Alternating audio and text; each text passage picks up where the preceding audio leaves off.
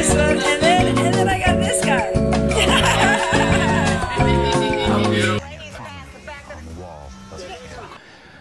Oh, yes. Just take pictures of carpet. You just, you just, yeah, you walk around like this till you find a good piece of carpet. Um, I was thrown out of a lounge in Boston trying to take a carpet because, I don't know why, the lady cited security reasons, I, I think, and kind of darkly hinted that I might be a terrorist. I wanted to show you the carpet that I photographed because I know it would have been emotional for you, who gently asked the director, like, is he a method actor?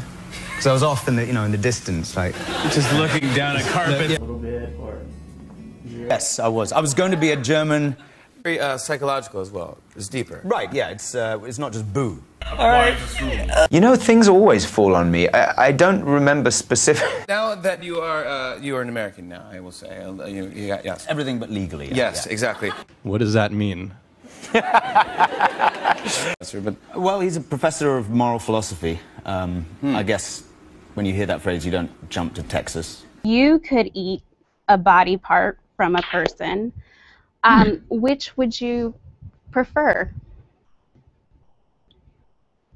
I'd be interested to see what you could do with a human brain. Hmm. Interesting. I don't need to know whose brain, just a brain. But then they come back, yeah. we were at a, a firing range. We're firing M16s with live ammunition, which is kind of why I went into this business. And he was a dick. yeah. Why would you do this? Oh my god. Oh, Michelle. Oh my god. Wait.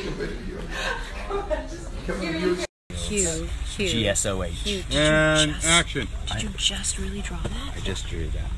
Oh my god, you're, You can you're read so what's fancy. writing, right? There in the background, oh, you know, it's I love you so much, I'm gonna hit you with a hammer.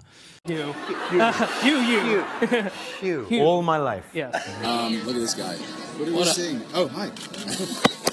Don't get scared. Don't get scared of the Twitter looking in a mirror. This is ridiculous. I feel so British. It worked out okay. And I thought, shit, I'm a bigamist, you know. Yep, absolutely. I just want to lie here and not move. And so I did. Talk about James Hawkinson, who's the cinematographer. Um, he, I think, shot most of the episodes. There might have been two where he. Um, but uh, Where in Minnesota? There's a little bit of this dark underbelly pulling him toward Hannibal and, and towards what Hannibal represents. It's called uh, Deadline Gallipoli, and it says, for... You've seen it? I don't think you should say that out loud because I'm pretty sure you, you, that was, you shouldn't have done that. I mean, it gets to the point you want to have a break, maybe, from murdering people. Able to look. Sometimes I want to tear my hair out, or actually, more specifically, I want to tear his hair out. Celeb parents so so desperate to be back on screen that they're hijacking their kids' Zoom classes. I'm no no that's fine. I mean I'm aware. No no don't. I mean it's not news to me. Follow up interview, you and I, in like three months to check in on you, just mentally. See how you're doing. Yeah, I mean please check in on me in three months.